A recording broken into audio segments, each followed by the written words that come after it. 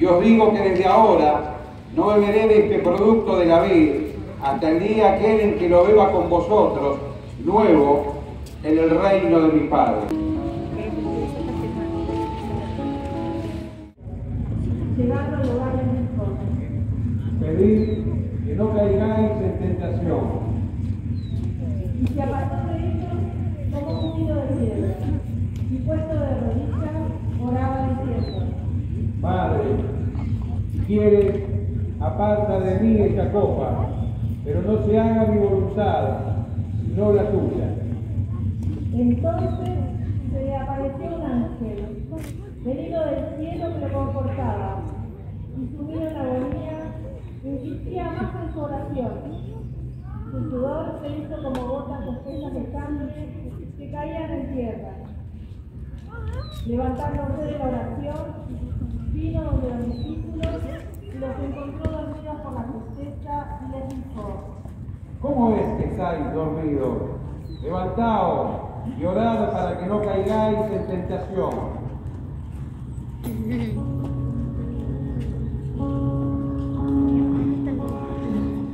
un grupo llamado Judas, uno de los doce, iba primero y se acercó a Jesús para darle un beso. Jesús le dijo, Judas, con un beso entregas al Hijo del Hombre. viendo los que estaban con él lo que iba a suceder, dijeron, Señor, herimos a espada. y uno de ellos hirió al siervo del sumo sacerdote y le llevó la oreja derecha. Pero Jesús dijo, Dejad, basta ya. y tocando la oreja, lo curó. A los sumos sacerdotes, jefe de la guardia del templo, y ancianos que habían venido contra él. Entonces se prendieron, lo llevaron y le hicieron entrar en la casa del sumo sacerdote. Pedro le iba siguiendo de lejos.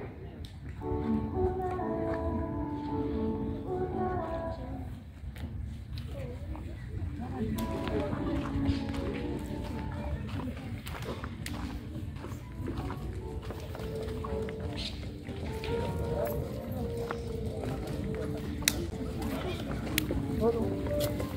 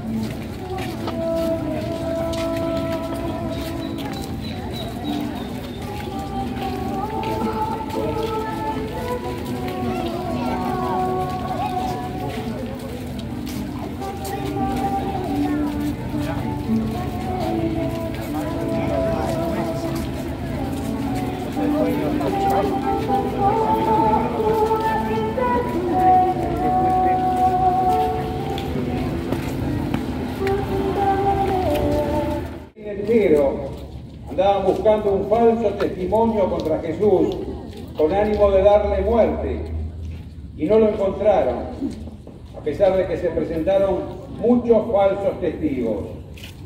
Entonces se levantó el sumo sacerdote y le dijo, ¿No respondes nada? ¿Qué es lo que estos atestiguan contra ti? pero Jesús seguía callado. El sumo sacerdote le dijo, Yo te conjuro por Dios vivo que no digas a ti si eres el Cristo, el Hijo de Dios. Jesús le dijo, sí, tú lo has dicho, y yo os declaro que a partir de ahora veréis al Hijo del Hombre sentado a la diestra del poder y venir sobre las nubes del cielo. Entonces el sumo sacerdote rasgó sus vestidos y dijo, Ha blasfemado. ¿Qué necesidad tenemos ya de testigos? Acabáis de oír la blasfemia. ¿Qué os parece? Entonces se pusieron a escupirle en la cara a Jesús y a bofetearle y otros a golpearle.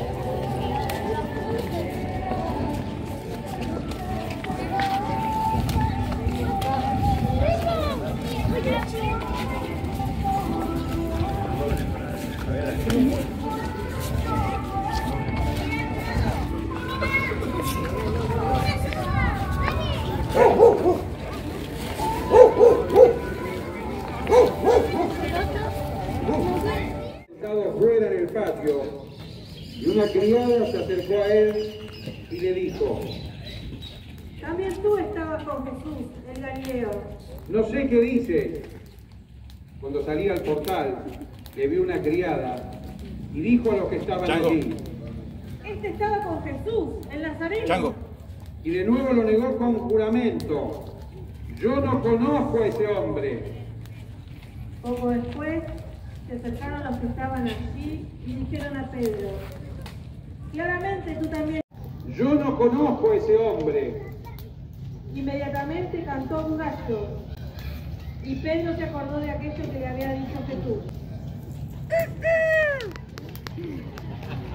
Antes que el gallo cante, me habrás negado tres veces. Y saliendo fuera, rompió a llorar amargamente. Te adoramos Cristo y te bendecimos, porque por tu santa cruz redimiste al mundo. El consejo en pleno se levantó y llevaron a Jesús ante Pilato. Así empezaron con sus acusaciones. Hemos comprobado que este hombre es un agitador. Se opone a que se paguen los impuestos del César y pretende ser el rey enviado por Dios. Las autoridades religiosas judías, sacerdotes y maestros de la ley se reunieron y decidieron condenar a Jesús porque se presentaba como el Hijo de Dios. Apresan a Jesús en el huerto de los olivos y luego de juzgarlo lo llevan ante el gobernador romano que se llamaba Poncio Pilato. Delante del gobernador lo acusan de agitar al pueblo y proclamarse rey de los judíos. Poncio Pilato primero duda y pregunta al pueblo, ¿a quién quieren? ¿A Jesús o a Barrabás?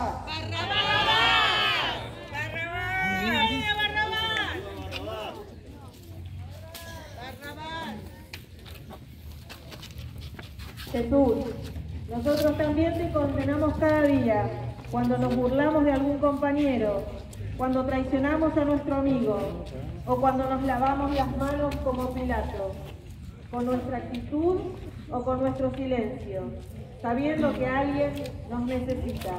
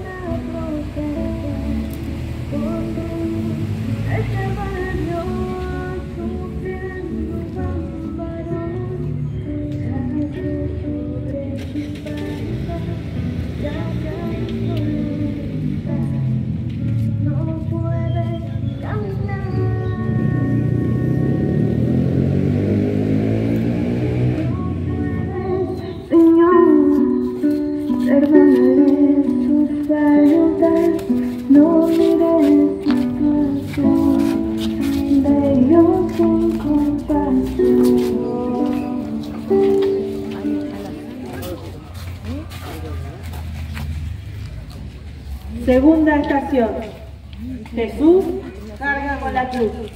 Te adoramos Cristo y te bendecimos, porque por tu santa cruz redimiste al mundo. Así fue como se llevaron a Jesús cargando con su propia cruz. Salió de la ciudad hacia el lugar llamado Calvario o de la calavera, que en hebreo se dice Gólgota. En las afueras de la ciudad de Jerusalén había un monte en el cual los romanos crucificaban a los condenados a muerte. Allí fue Jesús cargando la cruz. La muerte en cruz era un castigo muy cruel reservado solamente para los ladrones y para los que se levantaban contra el poder de los romanos. Jesús ofrece su vida para reconciliarnos con Dios, pues el pecado nos distancia del Padre bueno y de nuestros hermanos. Jesús fiel al camino que Dios le ha ido conduciendo y lo acepta con amor. Jesús, qué pesada es la cruz. Cómo cuesta cada día hacer lo que nos piden y hacerlo como vos. Todo con amor, sin protestar, sin quejar.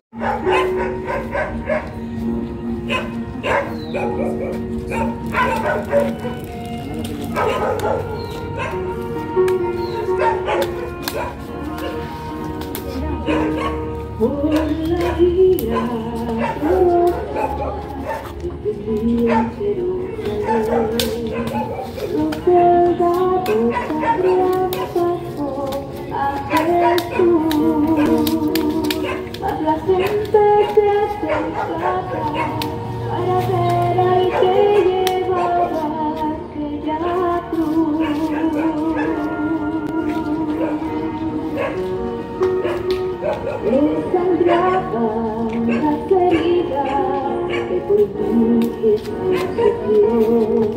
Las espinas desgarraban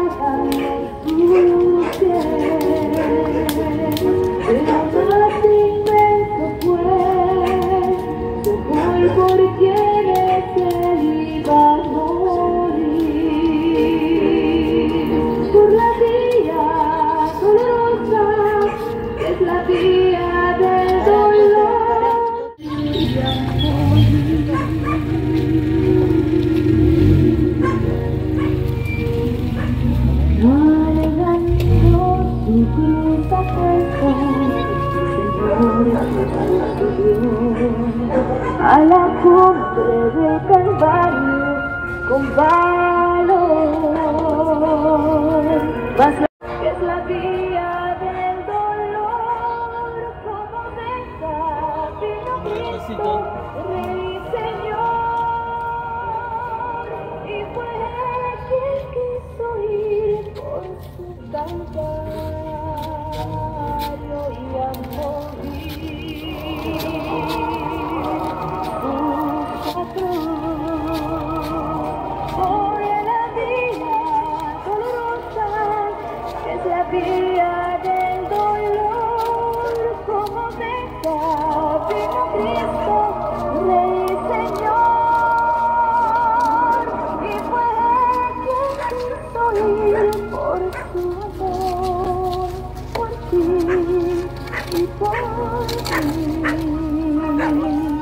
Por la vía dolorosa al calvario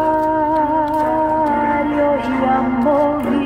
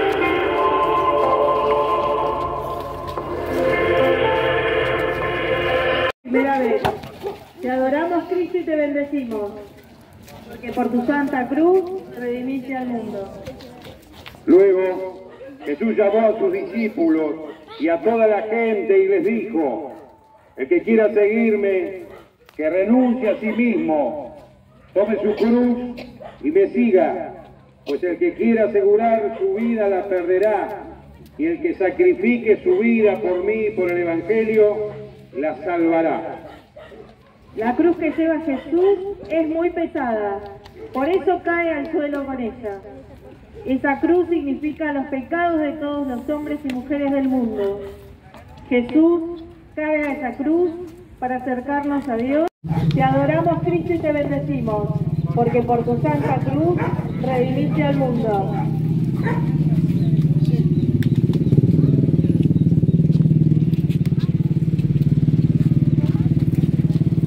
También estaban allí observándolo todo algunas mujeres que desde Galilea habían seguido a Jesús para servirlo. María y las mujeres que seguían a Jesús Tú es ayudado a llevar la cruz. Te adoramos Cristo y te bendecimos, porque por tu santa cruz redimiste al mundo. Cuando lo llevaban, encontraron a un tal Simón de Sirene, que volvía del campo, y le cargaron con la cruz para que la llevara detrás de Jesús. Una persona que regresaba a su casa ayuda a Jesús a llevar la cruz. Como Simón de Sirene, también nosotros podemos ayudar a las personas que conocemos, que sufren, que están enfermos, que están solos, son mayores y necesitan una mano.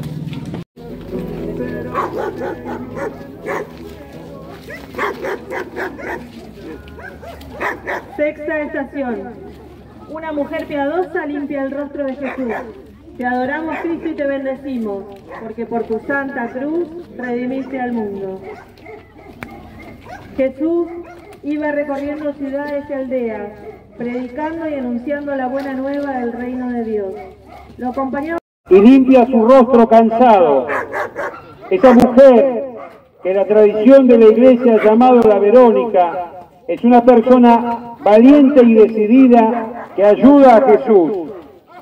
El Señor quiere que sus discípulos sean personas de buen corazón, compasivos y cercanos a todos los que sufren. Jesús, como Verónica, que como Verónica sepamos ayudar a los que sufren, acompañando a un enfermo, consolando a los que están tristes, renunciando a algo que tengo o a mis gustos, para darle algo a quien lo necesita.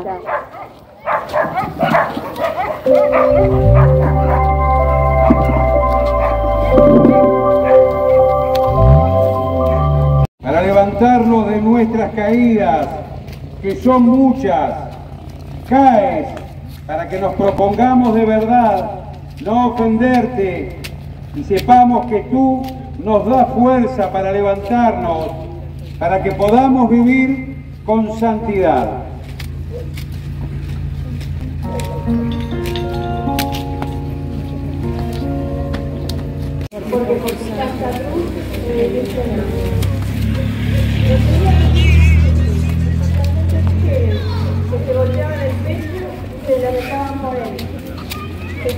Volviéndose hacia ella, me dijo, hijas de Jerusalén, no lloren por mí, lloren más bien por ustedes mismas y por sus hijos. En el camino hacia el Calvario se había reunido mucha gente del pueblo de Jerusalén. Las mujeres lloraban y se lamentaban por él. Jesús, a pesar del cansancio y el esfuerzo, en un momentito para ellas les dirige una palabra de consuelo. Más importante que llorar es intentar cambiar la vida para vivir según las enseñanzas de Jesús. El Señor nos da las fuerzas para lograrlo si vivimos cerca suyo y se lo pedimos con ganas en nuestra oración. Algunas mujeres que lo acompañaban lloraban y se lamentaban por lo que estaba pasando. Pero Jesús las retó diciendo que no hay que lamentarse por las cosas malas que nos pasan, sino tratar de que no sucedan. Así Jesús nos dice que no nos quejemos cuando algo está mal. porque dijo que estaría conmigo hasta el final, porque prometió la obra terminar. En momentos bajos, trataba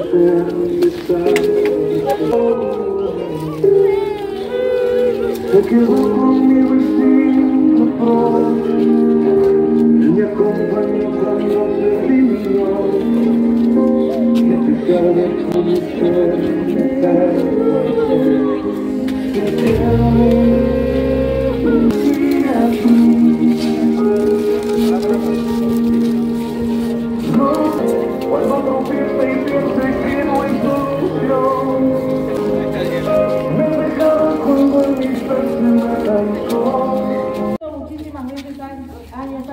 naciera Jesús, nos habla de la esperanza del pueblo de Dios en un Mesías que liberará del pecado y traerá la ansiada paz. Ese es Jesús. La entrega libre y por amor de Jesús trae la paz para el mundo. Vuelves a caer, Jesús. Una y otra vez nos equivocamos y volvemos a caer.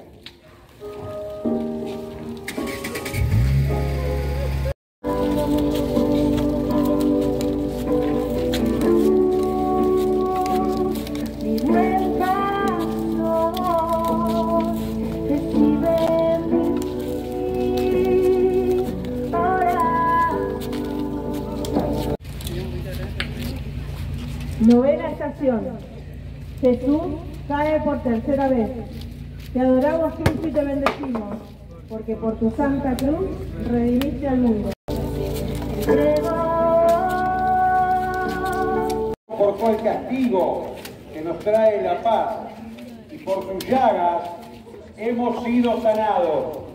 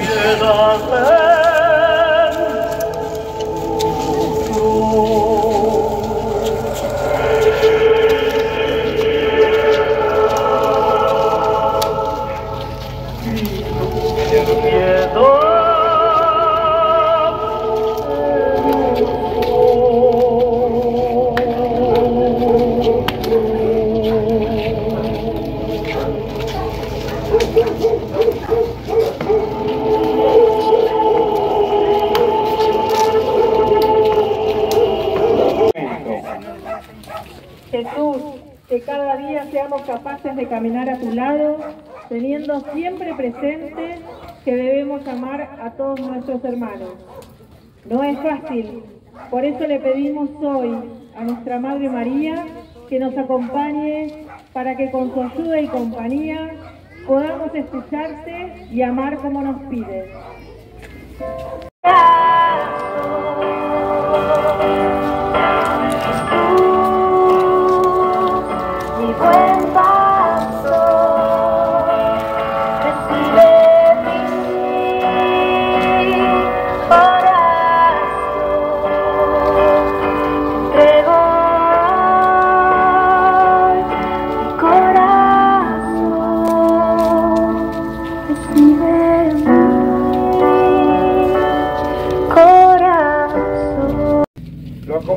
Hasta el final.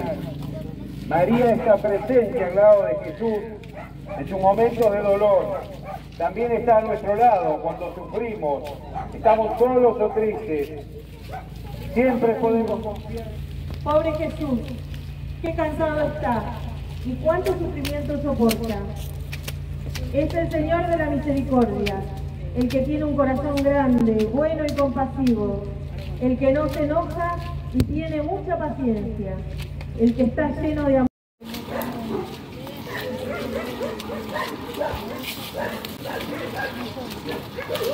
El Calvario es agotador. Jesús ha sido maltratado y además carga con el peso de la cruz. Sin embargo, se levanta y prosigue su camino. Te adoramos Cristo y te bendecimos, porque por tu santa cruz redimiste al mundo. Eran nuestras faltas por las que era destruido, nuestros pecados. Batalla cruz, por la vía dolorosa, que es la vía del dolor, como oveja vino Cristo, Rey y Señor, Cristo y te bendecimos, porque por tu santa cruz al mundo. Siendo ya tarde, vino un hombre rico de Arimatea, que se llamaba José, y que también se había hecho discípulo de Jesús. Fue donde Pilato para pedirle el cuerpo de Jesús, y el gobernador ordenó que se lo entregara. Y José, tomando el cuerpo, lo envolvió en una sábana limpia y lo colocó en un sepulcro nuevo.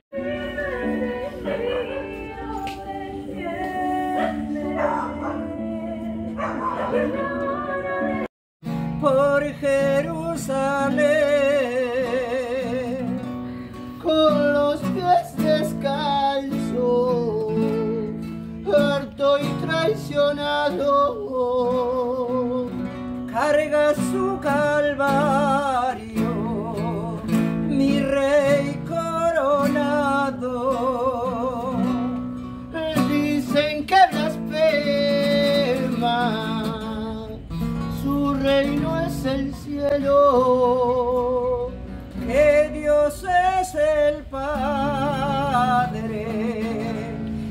y es